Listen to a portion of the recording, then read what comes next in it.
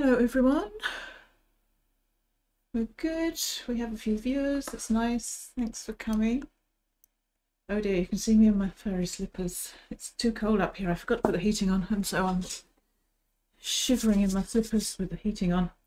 Right, let me switch it over to Canvas Cam. There we go. Just put out a little bit of burnt sienna. I made a terrible discovery. This is my last tube of burnt sienna.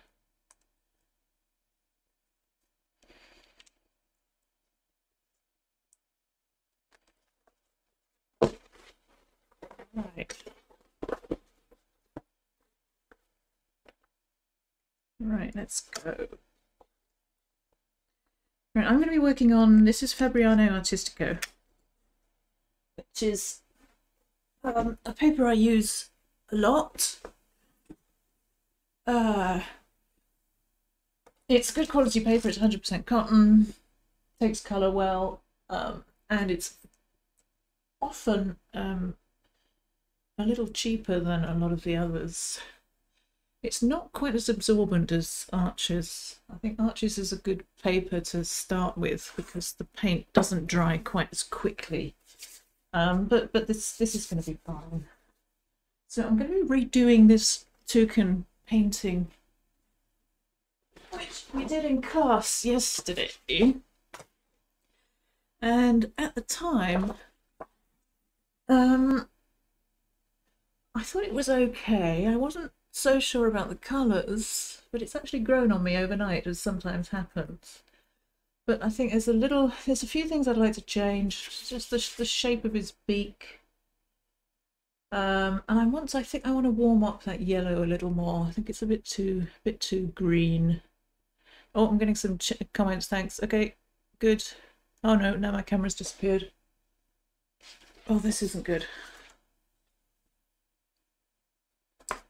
Let me restart.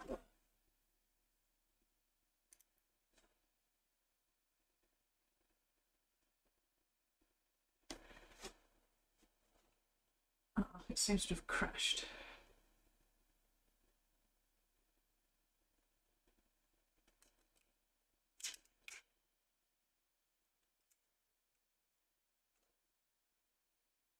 Apologies about that, there's always something.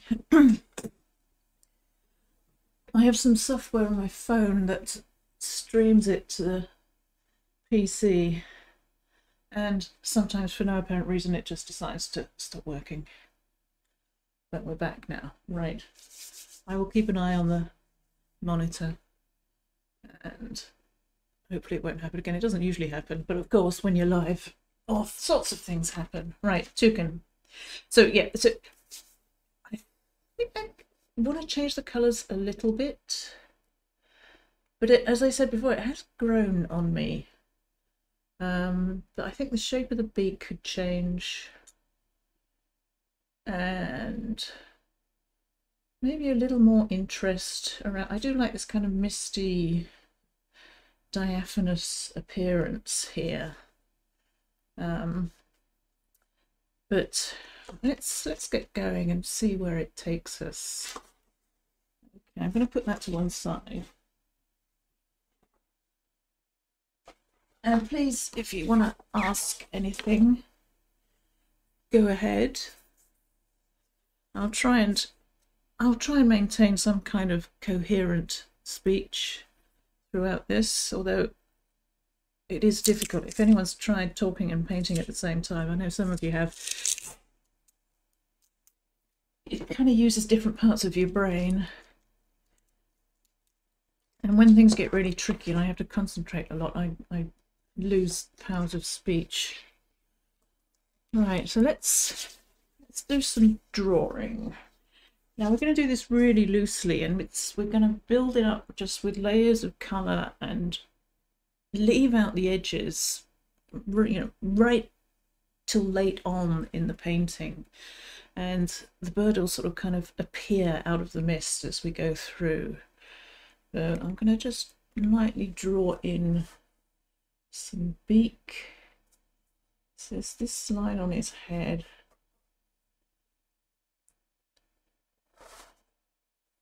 His beak is actually wide, isn't it? I don't think I made his beak wide enough before. So it kind of hooks down.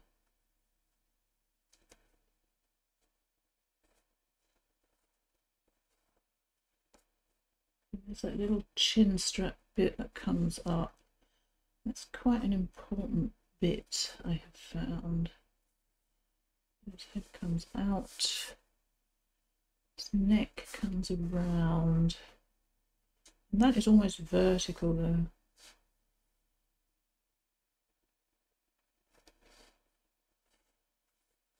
It's beautiful yellow pieces.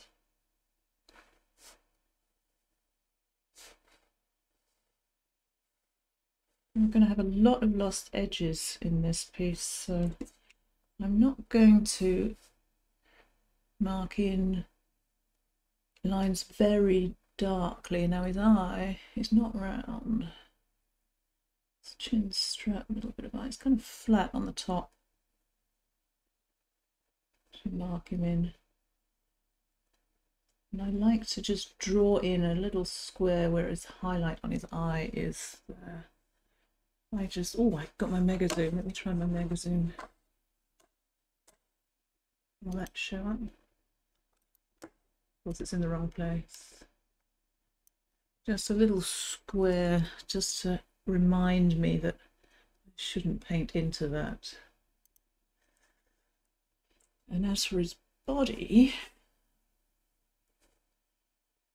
this line here, and it kind of comes down I'm really not putting in many lines here. And then his foot. Now I hate painting bird feet. So I'm going to draw it in in one big shape.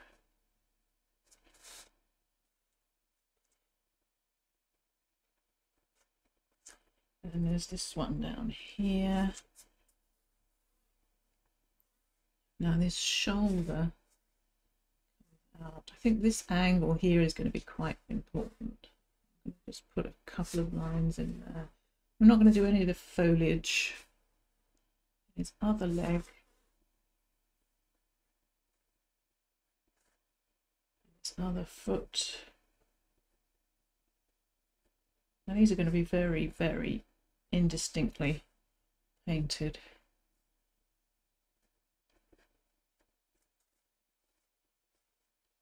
Just a little bit of this branch coming through.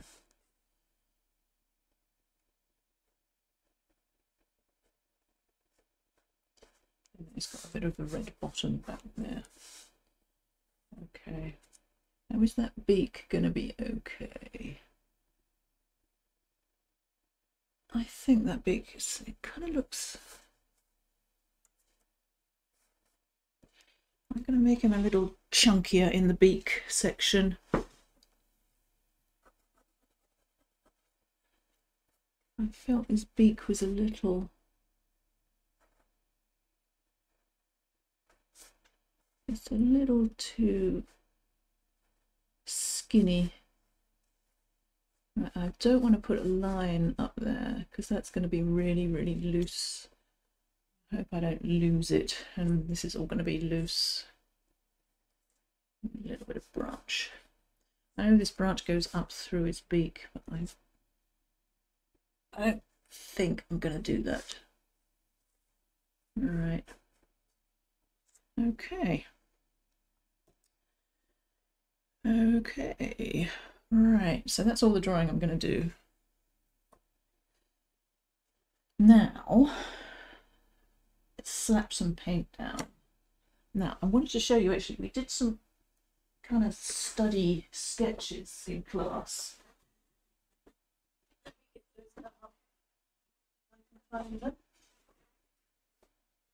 Which I can't find.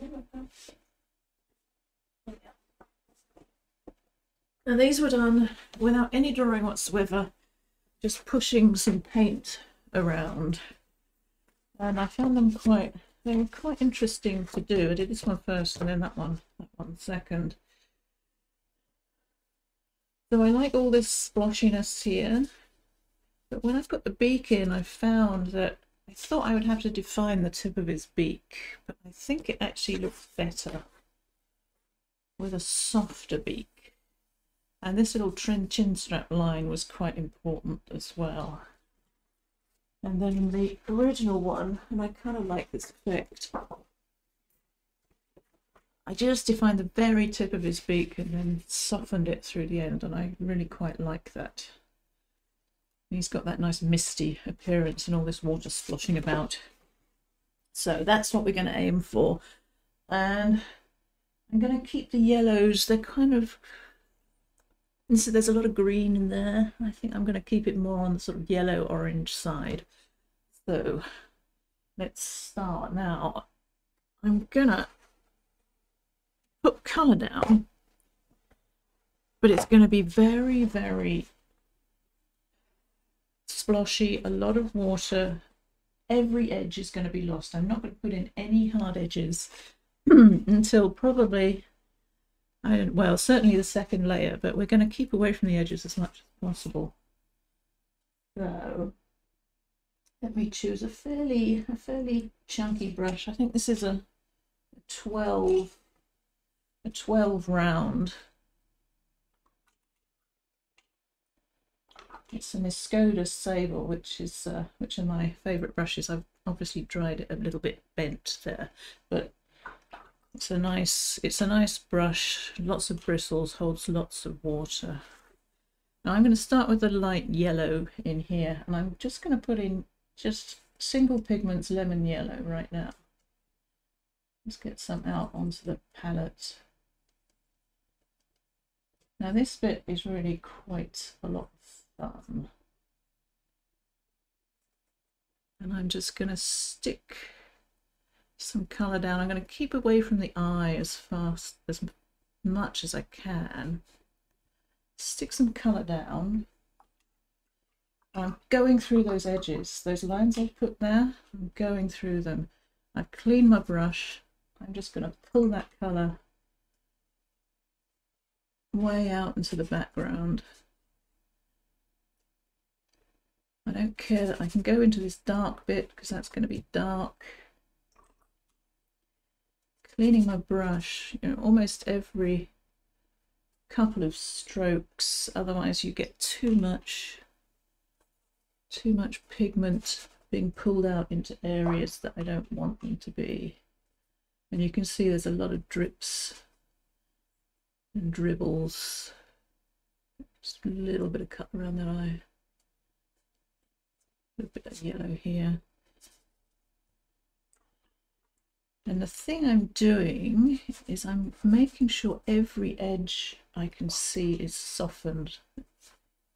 We can always go in and sharpen up an edge,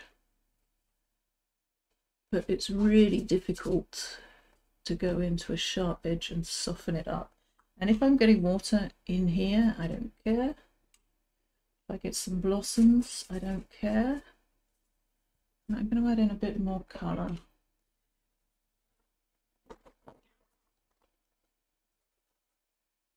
I'm I especially careful around the edges. It's not what the, the painting is not about these edges, and it's when you're doing this kind of work, it's easy to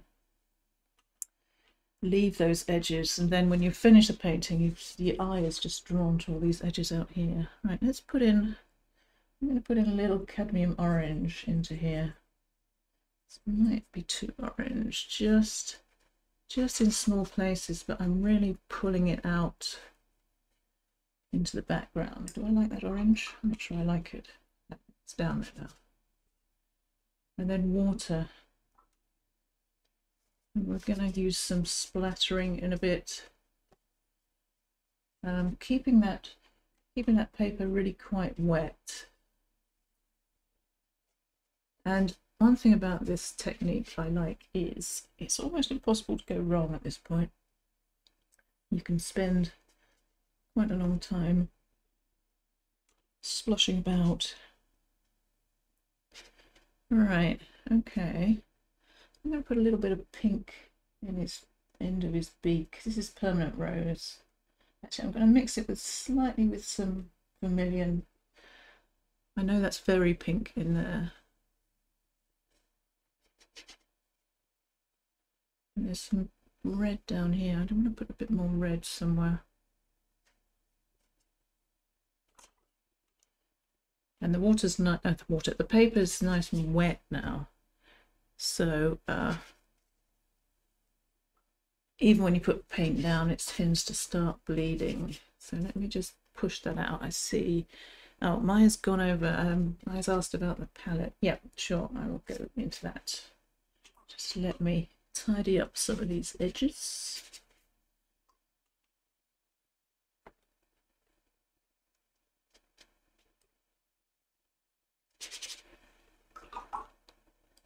It might look a little like a dog's breakfast at the moment, but it will dry back very light and you won't really notice any of this. Right, I'll just go over my palette. Now, um, I've got a greenish yellow, lemon yellow, that's my main yellow. Um, I don't really use uh, a warm yellow like a cad yellow. Um, I've got cadmium orange, although I don't really need it, but I like the texture of it. It's kind of a, a, creamy, opaque paint, and I just like the feel of it. But from a colour point of view, um, I could mix my, my yellow and my, my red quite happily. Um, I have two reds, um, an orangey red, which at this point is vermilion, um, but a, a cad red or a naphthol red or a, um, what's the other one, pyrrole red would do and a pinkish red, which this one is permanent rose. And I think all of these are Da Vinci paints. That's probably Holbein. Um, quinacridone red would probably do. Alizarin crimson at a pinch, but that's kind of got a kind of blackish quality to it. Um, yellow ochre, and you can tell I don't use this much because it's kind of stiffening up a bit. Um, I do use it a little bit. We might use it in this actually. Um, burnt sienna, I use a, an awful lot of that. Uh, this was a test paint. This is some raw umber, which um, Paul Foxton uses basically exclusively to. Um, I don't find it works very well for watercolours, but I tried it out. Um, I use cerulean blue. Um, it's a nice kind of blue on the greenish side, and it granulates really nicely. Um, and I like that that property of it. Ultramarine, cobalt blue. I used to have phthalo. So ultramarine is the kind of purpley blue and then um, cobalt is a slightly more greenish blue. Uh, phthalo is just too powerful for me. And um, I also use black uh, quite a bit to reduce chroma of colours. Um, I don't use it for making darks. I always mix darks from ultramarine and burnt sienna. Um, and this is cobalt turquoise, which I use uh, to make really Zappo greens. It makes lovely, really bright greens, which sometimes I like to use. And the other ones are kind of guest things. This is a, uh, a very bright orange, which I discovered I didn't need. It's quite close to uh, my vermilion. This is Holbein's lavender, which is kind of nice. And some of the, the, the, big guys use this.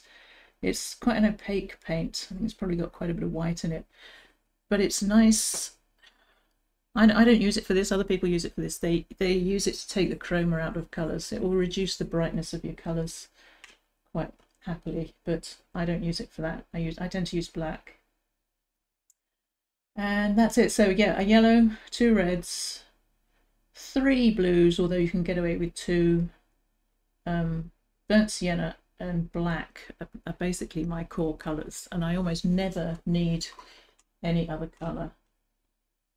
Um, unless it's something really bright. Sometimes, if something's a really bright purple, I'll need to get a purple out.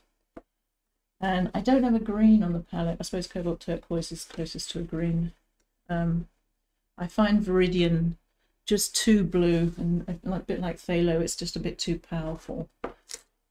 Um, so I tend to mix greens from uh, mostly from lemon yellow and black with a little bit of cobalt tucked in if I need it to go bluer. and um, that keeps keeps them quite natural because natural greens are kind of very yellowy greens. If I put black into this lemon yellow, it goes a beautiful olive colour. And if I just want to shift it slightly more blue, we might probably might use this on his beak. Just a little bit of blue. It will make me some nice natural looking greens. Okay. And I've kind of ended up with these few colours after pretty much buying every possible colour tube paint on the planet. So I have a cupboard full of um, tube paints that I never use. Oh, we're Flamingo Flamingo is asking which black it's so I actually use lamp black. Um, it's a little goes a long way with with lamp black. Um, ivory black is fine. Um, I switched to lamp black because I had a tube of Daniel Smith. I think it was Daniel Smith ivory black, and it had this really strange puddingy type consistency. And so I switched over to lamp black. But you have to be careful with it because a little goes a long way. You can end up overpowering your mixes. Right. Let me just give them a spritz. I'm going to put a bit more colour. Let's really go nuts with this colour on here. So this is all kind of dried back. I'm going to put in a bit more yellow, I think. I mean, we can always make him more yellow. I'm just going to add a tinge, little lick of vermilion.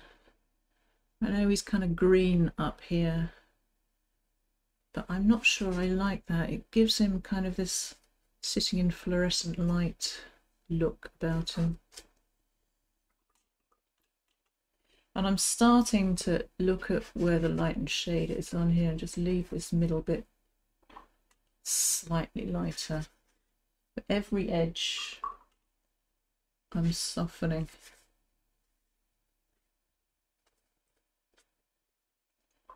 A little bit. I'm not putting any green on that beak. I'm going to put a bit more pink up there because it's it's dried back so much it's just disappeared.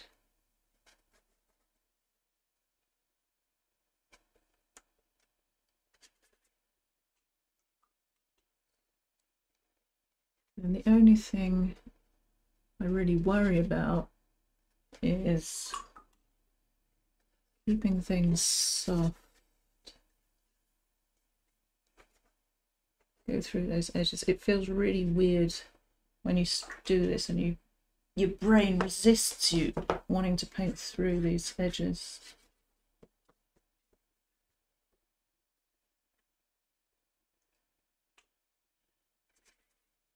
Just softening out these surrounding bits. Right, now, now that paper's nice and wet, I'm hoping it isn't going to be too wet. I'm going to, well, let's put a little bit of dark in this body area. And I'm going to use my mix of um,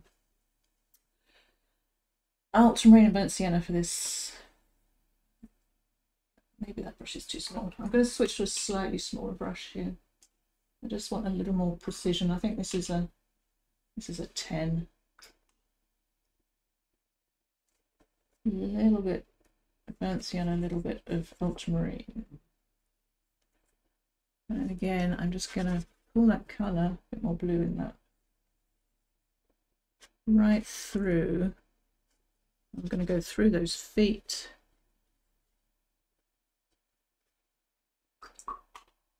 I'm just going to wait a little bit just for this edge to dry. I want to put in the dark around here while the paper is slightly wet, but not absolutely sopping wet.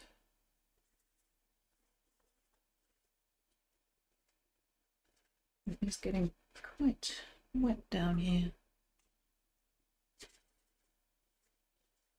Hmm.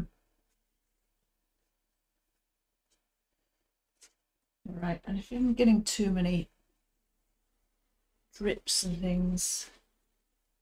I'm Just going to pick up some of that water.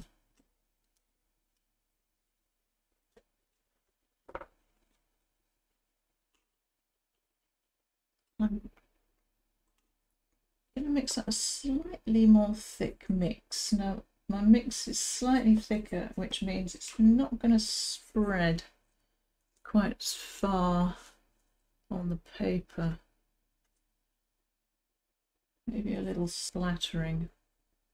Uh, the problem that happens with this is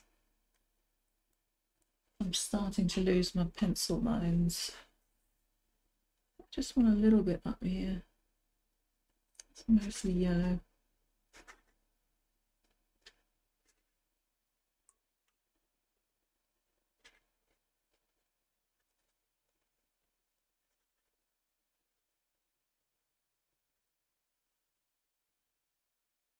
And I'm going to bring out my trusty, my trusty spray bottle. I'm just leaning back a bit, seeing what's going on. Oh, there's some red down here with this bottom. I'm just going to use pure vermilion for this.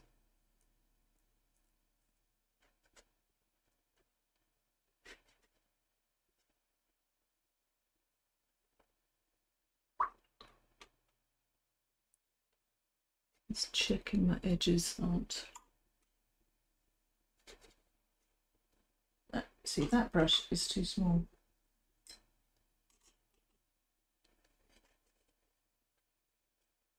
And I'm just letting it do its thing in here. Maybe a little bit of cerulean for those feet, just in the general area.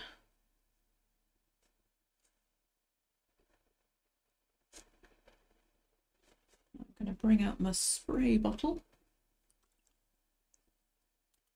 Now this is going to make the paper very wet. No, I'm going to stop that. Right now. I'm going to start thinking about putting in some edges and I'm going to aim to put in as few edges as I can. Just wondering if I need a bit more dark in there. I think I do. And from doing the sketches, this little chin strap bit is important and obviously round the yellow of his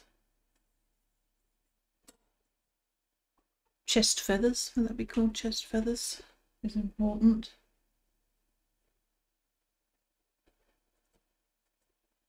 Just going to put in a bit more dark. It obviously needs to go a lot darker than it is right now.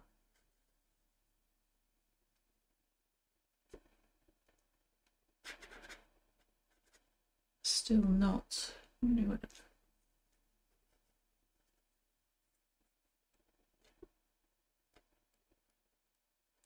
aiming to get texture in here.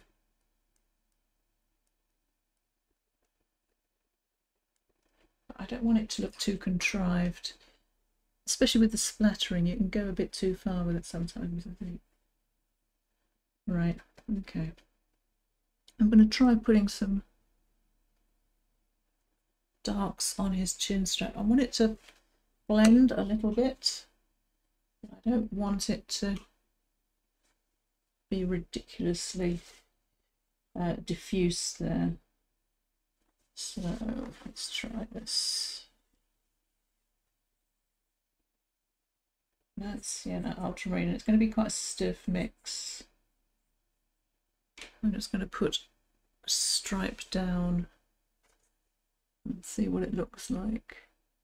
Now I need to put my little finger on the paper, but I think the paper's so wet I can't do that. Oh no, it's fine. In fact, it's far too dry up there, which means I'm going to have to soften it.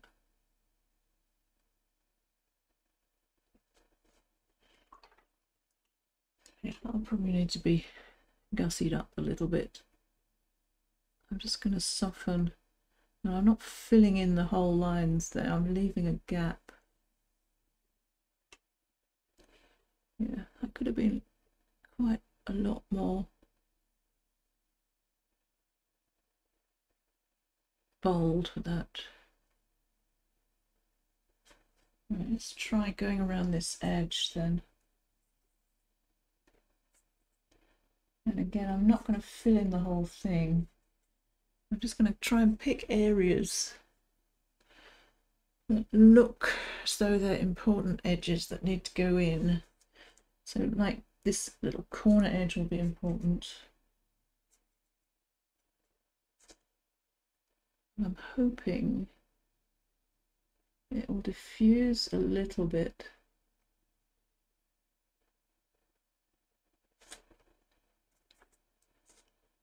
But not too much.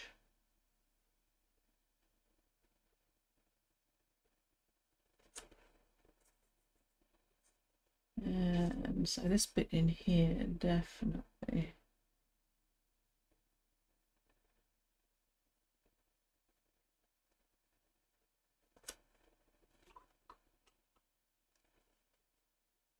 And I'm gonna soften that edge. Bring these round.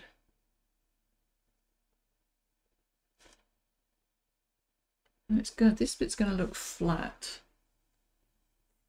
because there's no modelling in there yet. A little bit around the top of his head.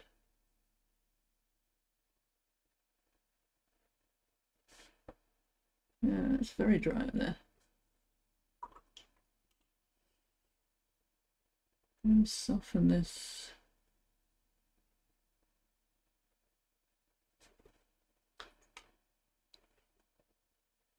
and I'm softening with a very clean and it's a dry brush actually. I'm every time I'm cleaning my brush I'm dabbing it a couple of times on a piece of paper towel. I think that could probably be soft in there I'm going around destroying edges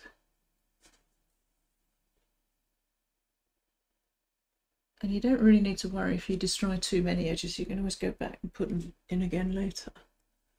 Okay, so how's that looking? Of course I messed up. Alright, now we may have to have a little break in a bit because think I want this to get slightly slightly drier before I start working on it. It's a little more dark in here. Just a little tilly bit on his, there's a bit of leg that comes down there.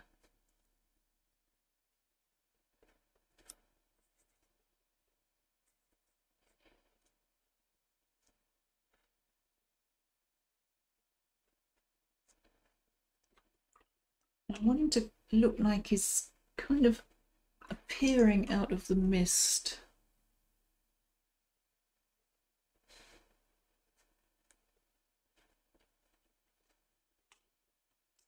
He'll slowly come into focus.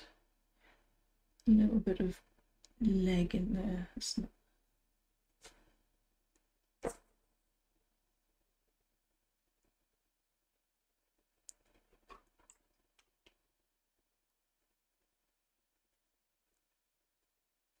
I'm not really worrying about form or putting in light and shadow at the moment. That can come later. It's pure edges. Now, is that looking a little too choppy up here? We need to do something with this beak. I do find that with this technique, you put something in and you suddenly realise, ah, I need to bring this piece up. You need, it's a case of going round and adjusting bits of the painting so they, they're all kind of at the same level. Right, let's have a go at this beak. I always worry about doing the beaks.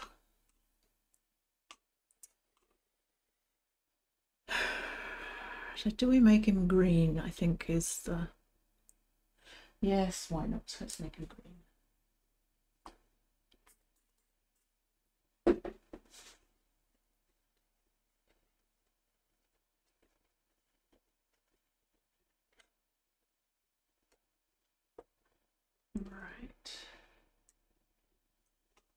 So this green, I'm going to use a little bit of lemon yellow. I don't want to make him too, I want him to be quite subtle, which is an odd thing for a toucan to be because they're probably one of the least subtle of birds. So I'm going to use my lemon yellow and my black and see if this is too dull for a beak. I'm going to leave the pink bit and I'm going to pull through that edge. And again pull through that edge.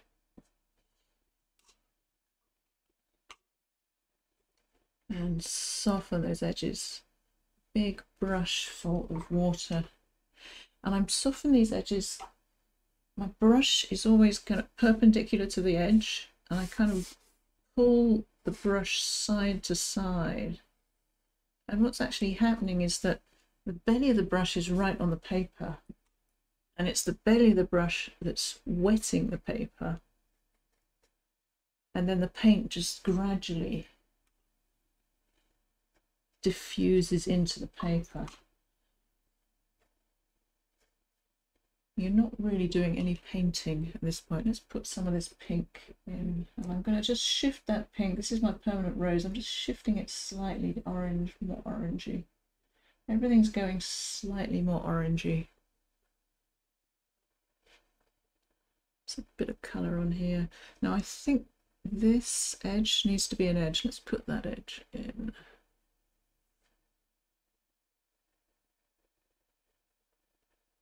I think the rest of it can be soft.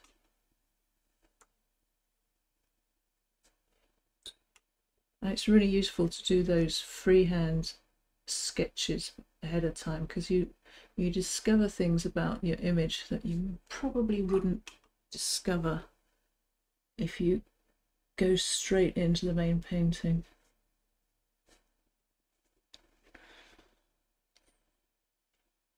Yeah, not sure about that. Let's put some yellow up here. It's wet, so it's going to diffuse. I'm not putting the tip of his beak in yet. Yeah, I could maybe have been a little, a little more bold there. Stick a little bit of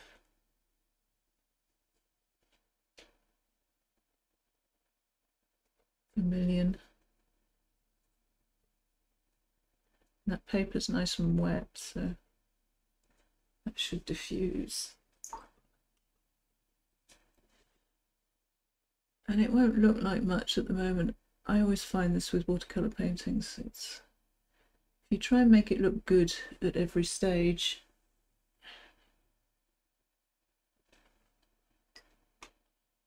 uh, you you don't end up with a good you can't you can't make a watercolor painting look good at every stage because uh, all the darks go in right at the end. Right now I think I'm going to put a bit of dark in for that eye. I think the whole thing needs a bit of focus and if I put the eye in I think that will help so this is just a very stiff mix of sienna and ultramarine and my head might get in the way at this point. Just going to paint around that highlight. You can always go back and use a bit of opaque white for highlights, but I do like to get it, get them in first. I'm just leaving a few bits of white paper there. He's going to look kind of stark for now. Let's put a bit of shadow around that eye. That eye is kind of green around there, isn't it? Do we like the green? I don't know that we like the green. Let's see. So this is the colour I used on the beak. It's not going to be dark enough. See how this looks. It's a little bit of shadow around there. Just leaving a bit It's a little halo around that eye.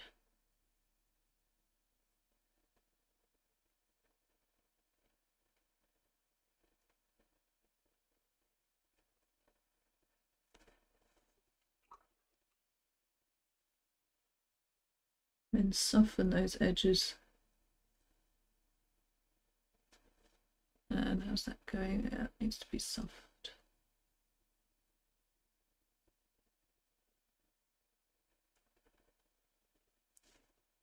That's a start.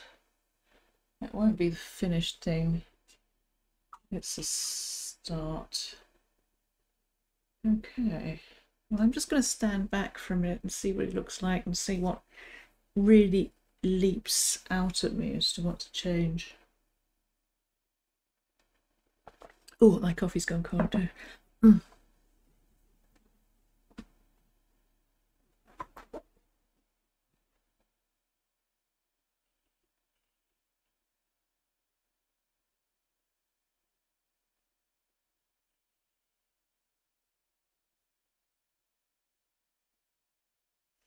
Yeah, So that chin strap needs beefing up a little. I'm kind of liking these edges around here. The beak obviously needs a little work. There's no actual shadow on the bottom of it, which will help a lot.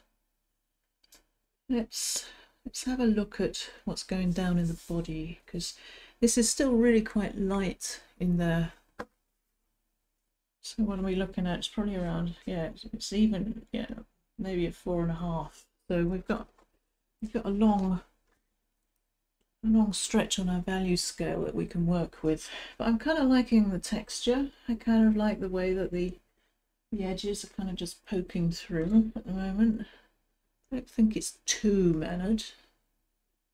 I don't want it to look gimmicky. Right, let's let's put a bit more. Actually, I think this I do like the curve of the back of his body. Let's let's put that in and see what that edge does. Every edge that goes in will add something. Hopefully. And then the trick is knowing when to stop. Put that edge in and that angle. And I'm just really placing bits of paint down. I'm not using the brush really as a brush. I think I'm just going to gussy up that bit a little bit. Okay, I'm going to clean my brush.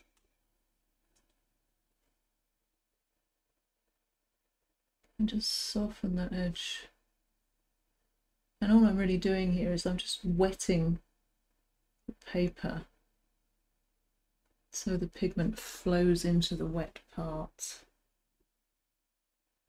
Yeah, okay.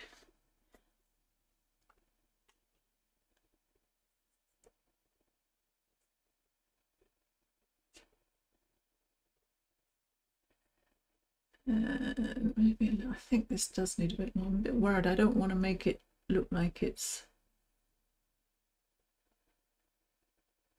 drawn on. I want it to bleed a little bit.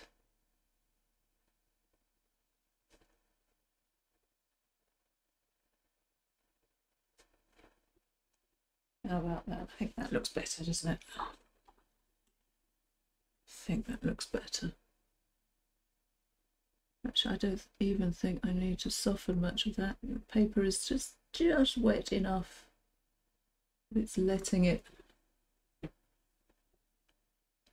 letting it bleed through and destroy a couple of edges. I'm now wondering whether that's too too defined. Hmm.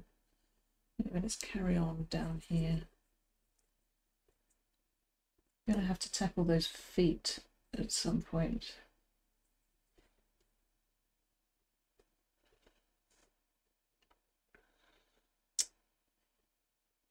Just going to put a little more shape to this bit, slightly curved. And then there's the back of that leg, that edge there.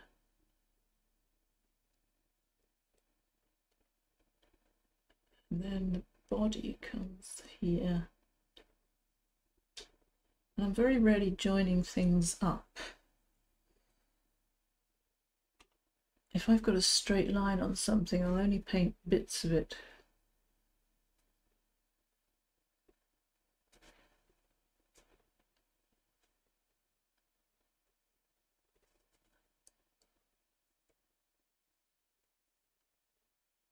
put these bits in and then I'm going to have to stand back again I think. I think I like that.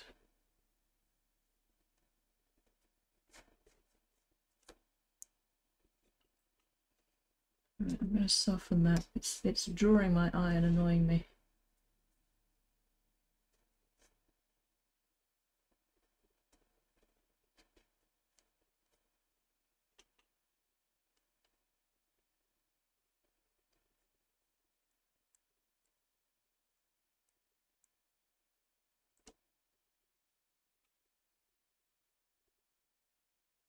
See, that's annoying me now. Right, let's put in these wretched feet. The horrible feet. Right, this isn't actually cerulean blue. Actually, let me just take that back a bit with a little bit of black.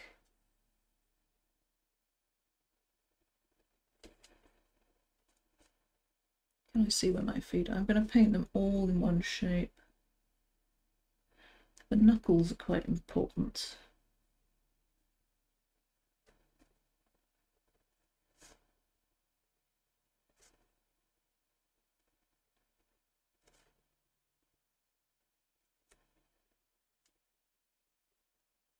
Alright, and I see where this is.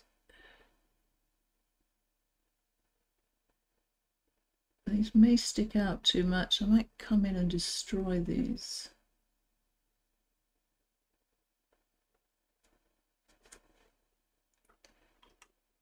What's that doing? So this underside is probably soft.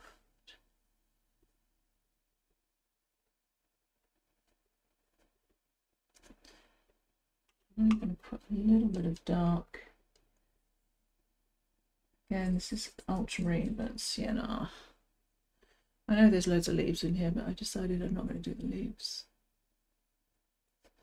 Just a little definition.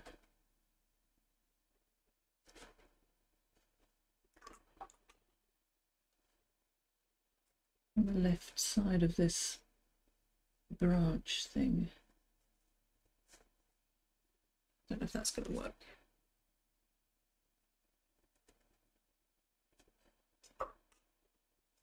lots of water.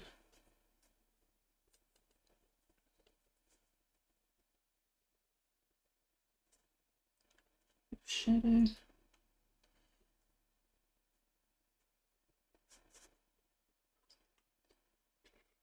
I'm using a too small a brush and it's showing.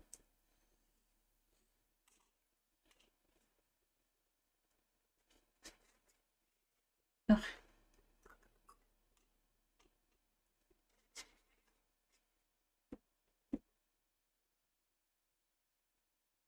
Okay. He's starting to get there, I think. I think he is. I do kind of like these misty shapes in here. Let's put a bit more.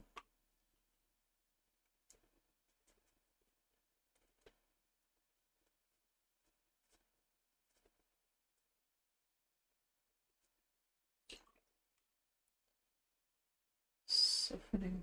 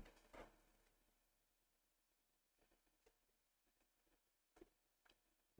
don't know about that now. This paper surface is getting a bit of a bit of punishment actually.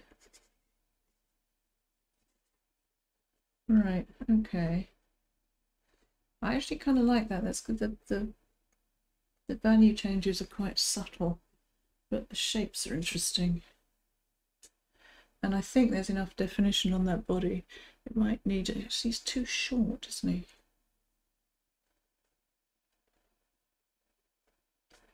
It's too short.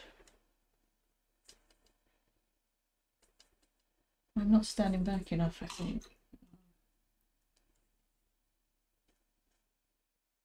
How do I keep that without? Yeah, okay, I'm going to leave that for now. I don't know what to do. So if I'm having trouble with an area, my solution, which seems to work quite well, is go and do something else and then come back to it. So I'm going to come back to it. How are we doing for time? Coming up on an hour. Right. So I'm just going to let this dry a bit. I don't think there's anything more on here that I want to work wet into wet with. So I'm just going to give him five minutes or so to dry off a little. And I think he's very close. The next bits we put in will really start to sharpen him up. We need to finish the beak one thing that will make a big difference is putting some um, shadow on his yellow chest feathers and we might darken up his body a little bit a little bit of detail on the feet. Yeah okay. Okay right I'm just going to take five minutes stretch my legs. I'm going to stand back and take stock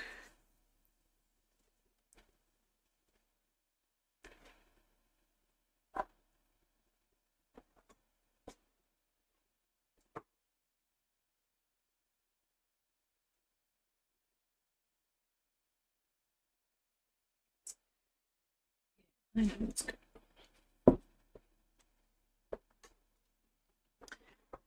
don't like this curve. That's what's that's what I don't like. I know, I'm sorry I said we're going to take a break, but I just looked at it and thought, aha. Trouble is I'm gonna have to redo. I think he needs to come out more. Need an edge colour there.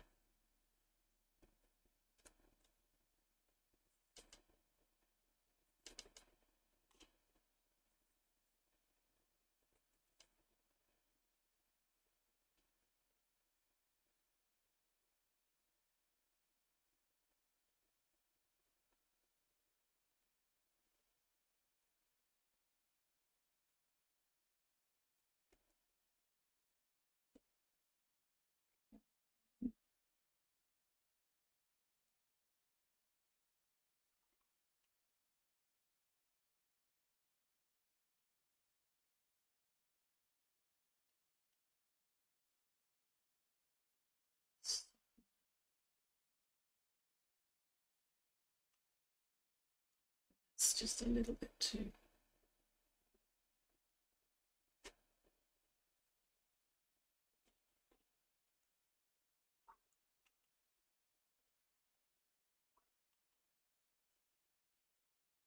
Okay, right, okay. Let's try that.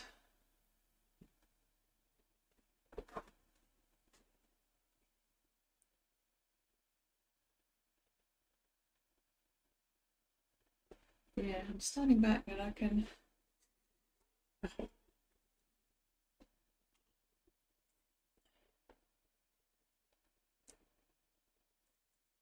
said I was going to let him dry, didn't I? Was obviously not letting him dry.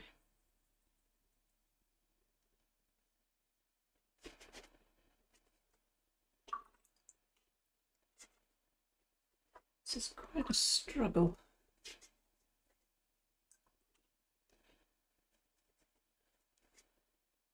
Okay. Note to self, don't use your smallest brush when you're trying to...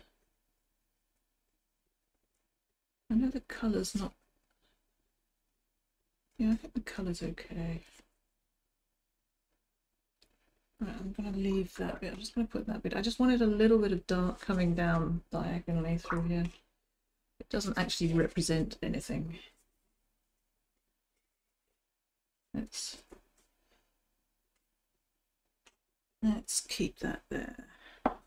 Oh, thank you, Alison. Yeah, it's um, he's not a disaster. Usually, halfway through, I'm thinking, well, this is ruined. I may as well give up. But I'm not thinking that right now, which doesn't doesn't at all mean that it won't end up as a disaster. but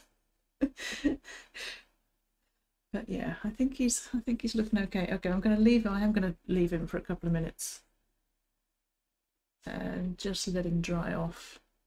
Um, I know we're, we're going to go back in and do the beak, but I tend to drag my arm over the whole thing and ruin him. I'm seeing that this leg needs to be fixed, although I do like shapes. Right. So, so quite yeah. So we spent an hour. Quite a lot happens in an hour. It's um, but it's it's it's not as even though it looks as though it's sort of really splashy and sploshy and fast moving. It's not. It's quite a measured way of working because you're just you're just working on one edge at a time and then reacting to it then another edge. I think it's uh, I think it's a nice method. Right, one thing I am going to do, I'm going to refresh my water while I'm here.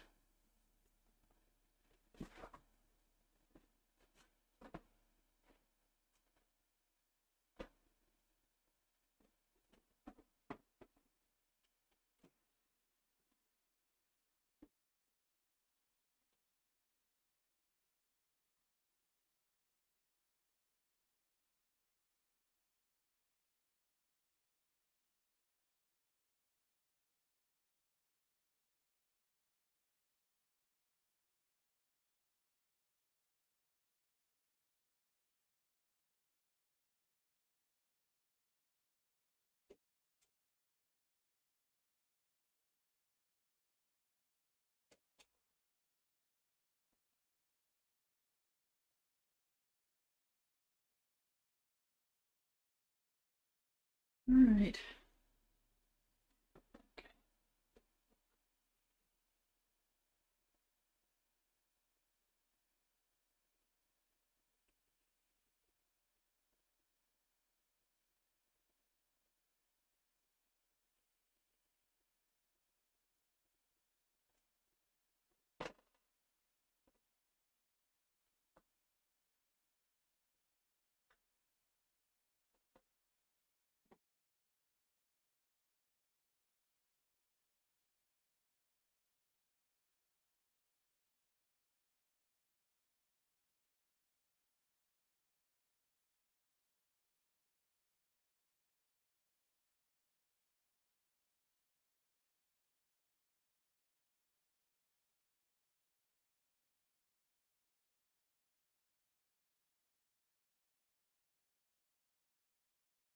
Okay, let's have a go at this beak then. Need to put some definition in there, but not too much. Otherwise it won't read as, as though it's really there.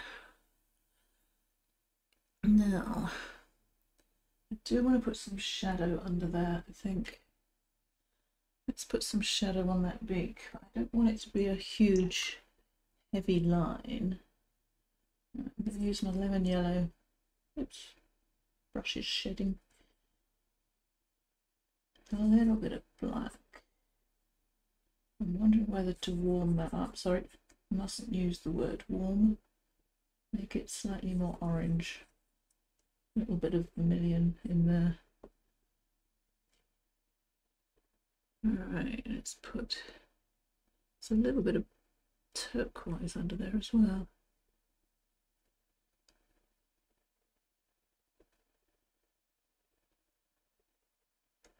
Kind of goes up to a line, doesn't it? Just squinting at it. So I'm going to pull that across.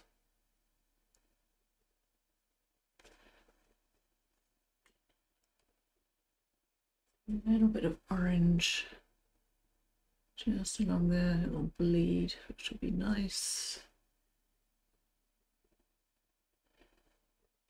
A little bit of cad orange up here.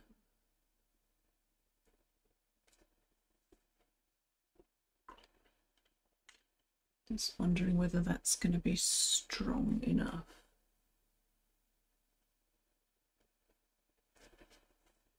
Right, and this beak, and again I'm going to push that beak. It's, it's really quite a pinkish red that.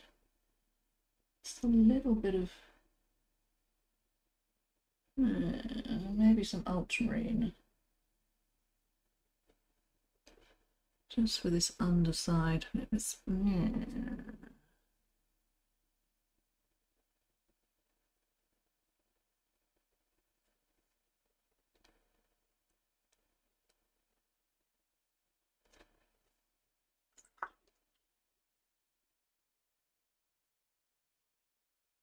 softening.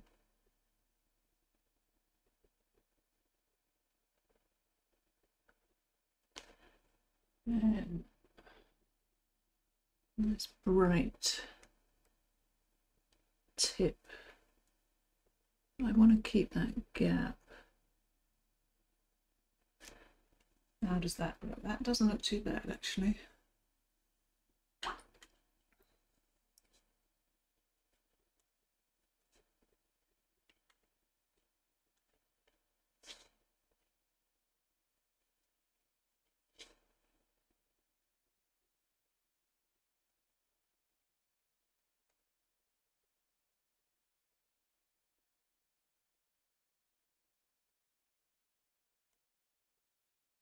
I'm just looking, there's some quite subtle colour changes.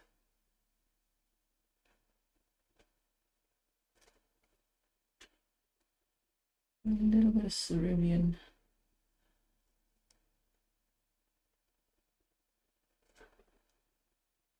Let's give that beak a little bit of interest. Yeah, I don't know about that. Hey, no, I don't want to do that. Oh well, it's there now.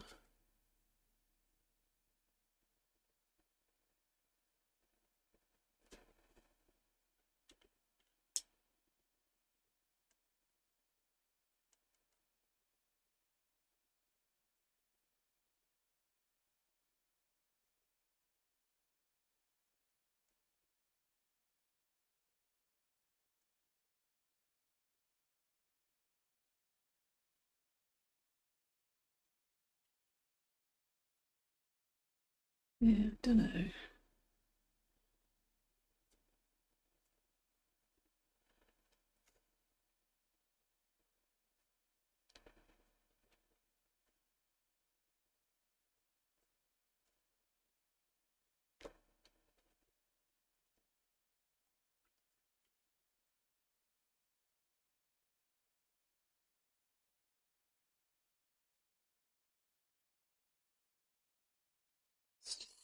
Edges.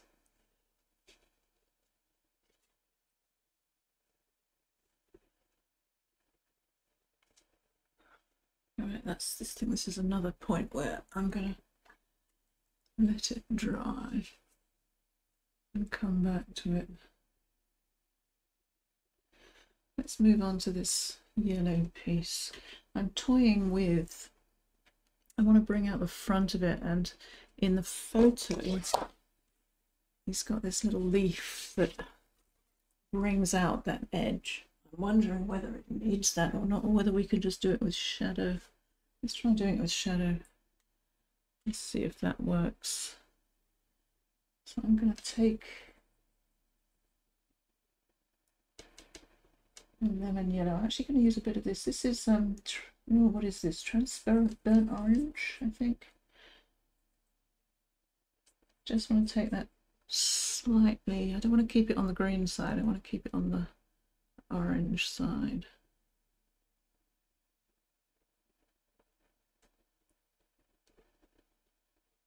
That's where our shadow pieces are.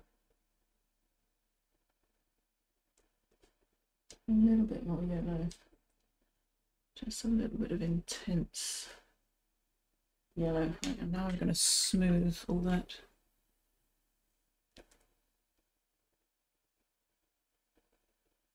And I don't judge what it looks like until all the edges are smoothed. Because when you put the paint down in little dabs, it looks very stark. Okay. A little bit up here.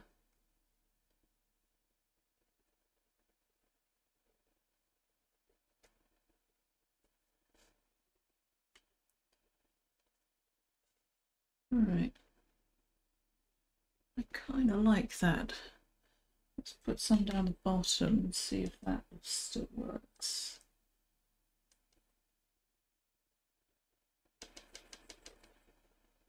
Hmm, transparent burnt orange. I'm going to come up just slightly there. I'm hoping that will bring out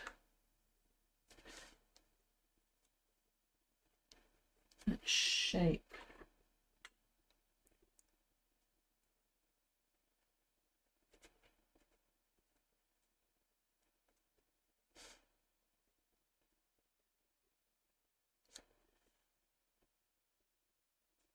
Hmm, maybe.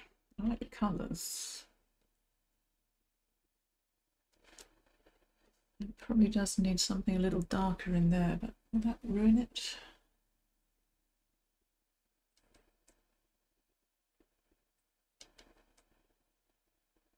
So that's lemon yellow, black. I know that's got reflected light in there, but I'm going to ignore that and see if this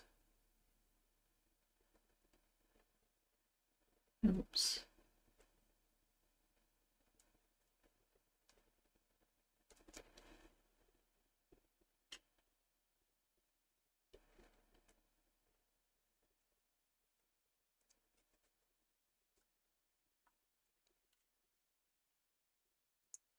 Got a bulge which I don't like. Just going to put a little bit more colour. It's, it's the light is really there, isn't it?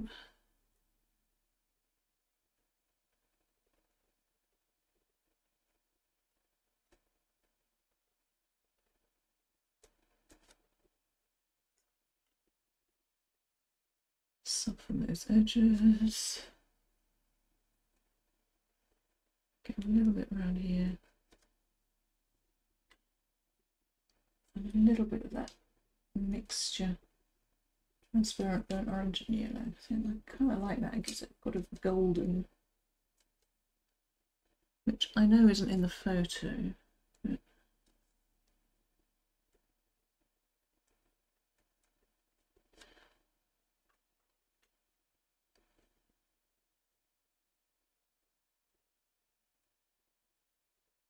Right, how's that looking? He's got he's got a nice richness to him. Something's gone terribly wrong down there, but I'm gonna have to live with that right now. Okay, let's add in a few more darks into his body. I don't I want it to have contrast, but I don't want it to be a big pasted on black shape. I do want a little bit more contrast and we it's still wet in there, so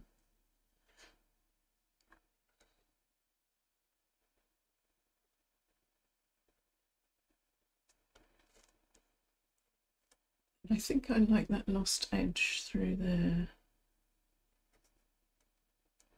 Just being very careful at the edge and then pulling it back.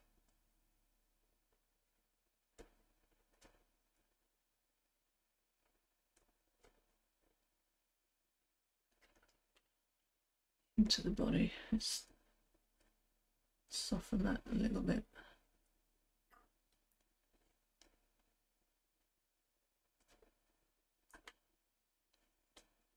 Yeah, I'm, I'm washing my brush like almost every stroke or two. You really are painting with the water with this. Uh, it doesn't look good, does it?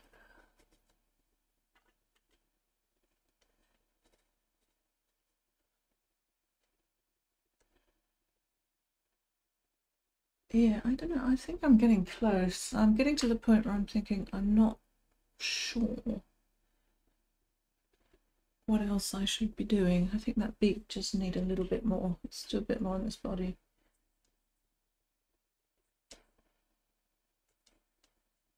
And I like the texture in here.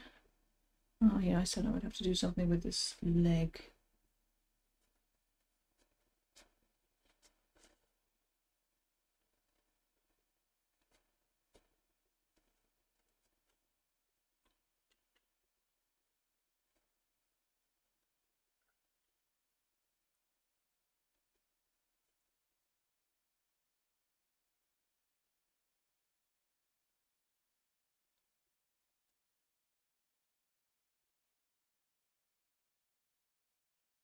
Just can't get the shape of that body right.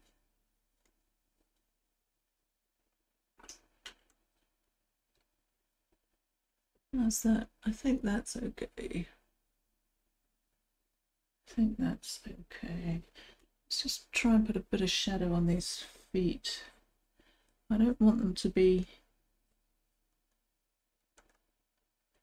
I don't want them to draw the eye at all.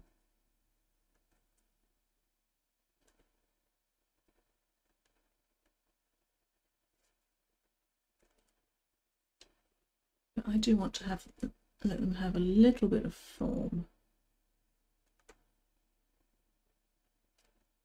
Just a little bit.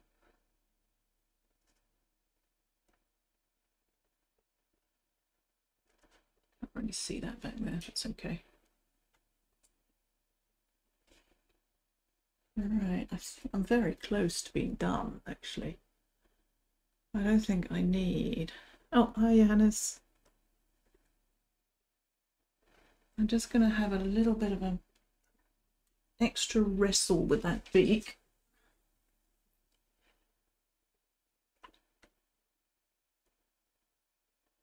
And I think I may call it a day.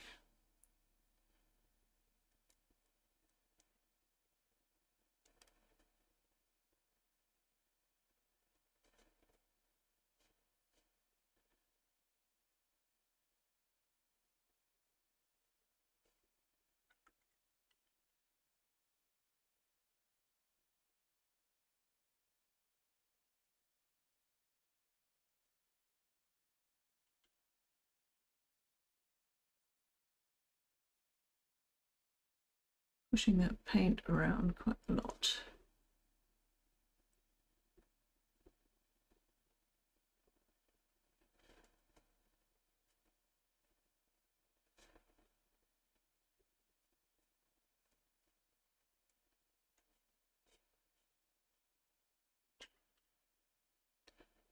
I'm gonna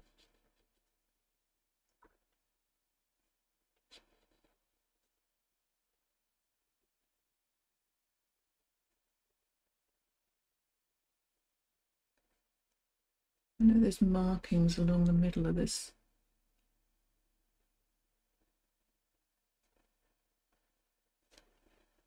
Ew.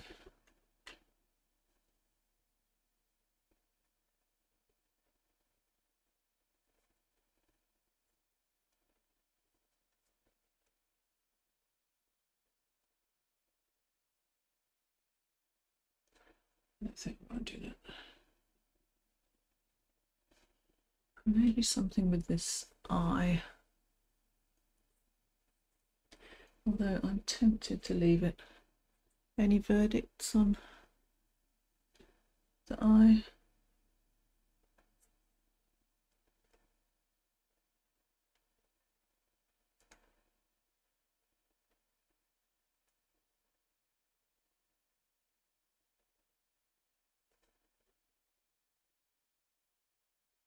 It's quite an important part of the bird, so you don't want to mess him up too much.